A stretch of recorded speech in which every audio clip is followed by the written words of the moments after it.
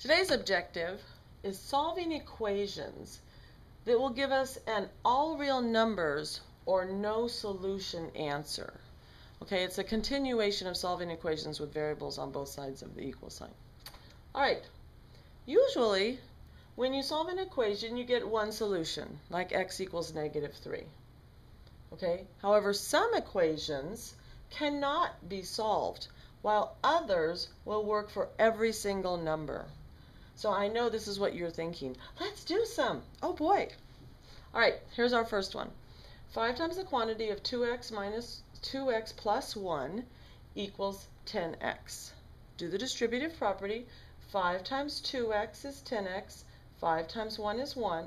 5 times 1 is 5. Having a little bit of problem, huh? So we have 10x plus 5 equals 10x. Now some of you may think at this point, how can this be? How can you have something plus something equal the same thing, but you know, we'll, we'll, show, we'll show you why, all right? So we look and we say, well, there's 10x on this side and 10x on this side. They're the same, so I just have, I'll just pick one. I'm going to subtract this one. Okay, so I'm going to subtract 10x from this side and 10x from this side.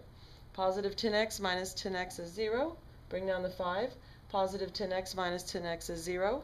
Bring down the 0. 5x equals 0. Is this true? No, this is not true. So it's no solution. That's why at this point when we were saying how can this be, you can't have one number plus something equal the number. Like if I give you $2 and I have $2 and then I give myself another $5, do we still have the same amount of money? No. So this is a no solution equation. Here's another one. 4 times the quantity of negative 2 plus 3x equals 12x minus 5. Let's do the distributive property. 4 times negative 2 is negative 8. 4 times 3x is 12x. So negative 8 plus 12x equals 12x minus 5. Is this is this really? I, this doesn't seem to make sense, right? Because here we have 12x but different numbers. Well, let's find out. So I subtract, hmm, they're the same. I'm going to subtract this side. Minus 12x minus 12x I get negative 8 because plus 12x and minus 12x is 0. And plus 12x minus 12x is 0 equals negative 5. Is this true? No, it's not true. So it's no solution. Okay, so when you have uh, the same variable term but different numbers, that's no solution. And you can write no solution in whichever step you notice it. All right, one more thing. The other one, right?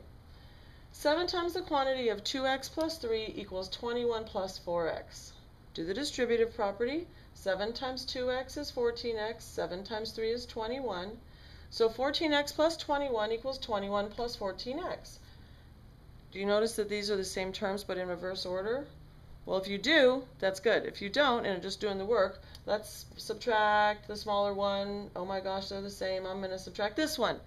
Okay, subtract 14x on this side, subtract 14x on this side. We're left with 21 equals 21. It's the same thing still.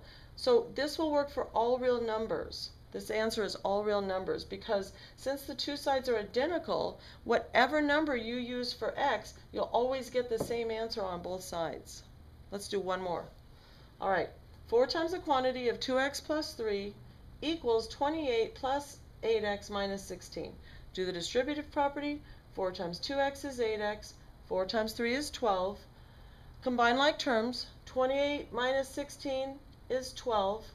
So I bring down 8x plus 12. Oh my gosh, it looks exactly the same. So you don't notice that. So we, are going to subtract the variable term that's the smallest. Oh my gosh, they're the same. I'm going to subtract this one. So I subtract 8x on both sides and I get 12 equals 12. It's the same number. Yes, 12 will always equal 12. It's all real numbers. And once again, you can write the all real numbers whenever you notice both sides are the same. That's it.